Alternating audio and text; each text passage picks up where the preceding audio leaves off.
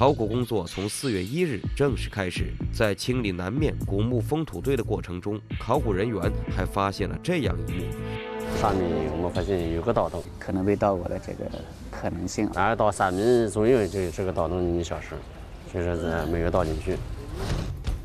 这个盗洞竖直往下打了三米，如果再往下几米，便是墓穴的主棺。但不知出于什么原因，盗墓者停止了盗洞的挖掘。而从此之后，这座古墓也隐没在历史的长河中，再也没有人知道它的存在。这两座战国古墓被幸运地保存了下来。封土堆很快被清理完毕，墓穴的主体也随之暴露了出来。揭开最外层的椁板，一个巨大的黑色棺椁出现在人们眼前。这是一个形制巨大。保存极为完整的战国中期墓葬，而棺椁旁放置的大量陪葬器物也让人们为之振奋。四月十五日，北墓的清理工作基本完成，南墓的清理也接近尾声。但就在这时，一些能够证明墓主人身份的陪葬器物被清理了出来。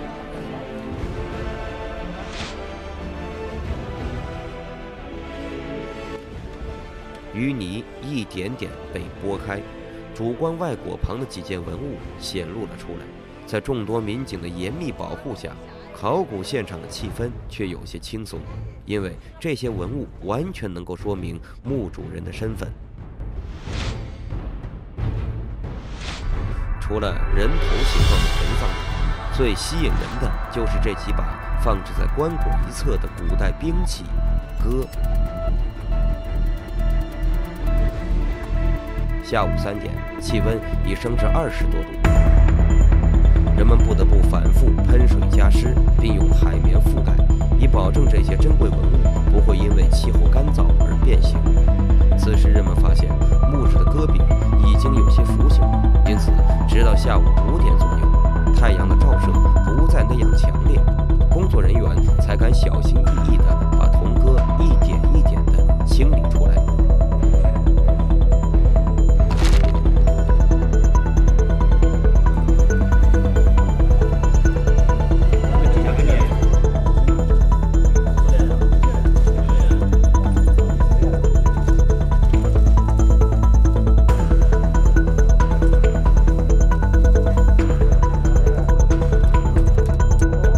虽然历经了两千多年的时光但当淤泥被清理开时，在阳光的照射下，铜戈刃口上依然寒光闪闪。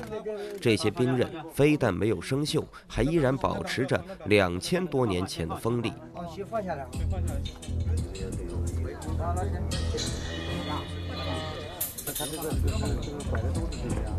我们这是放的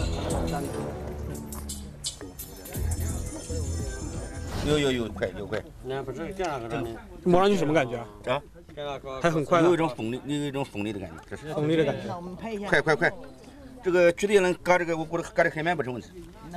清理出来的铜戈被工作人员用保鲜薄膜覆盖固定，并立即送到了博物馆库房内进行进一步的清理保存。同时，这些文物也证明了墓主人的大概身份。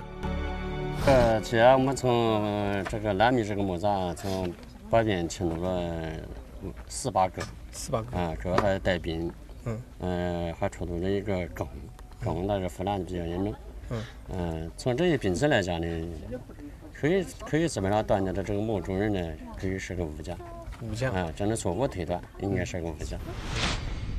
但让人遗憾的是，到四月十五日。棺椁周围文物全部清理完毕为止，依然没有找到任何能真正证明墓主人身份的器物和铭文。人们只能大致猜测，他很有可能是战国时期楚国的一位崇武尚武的将军。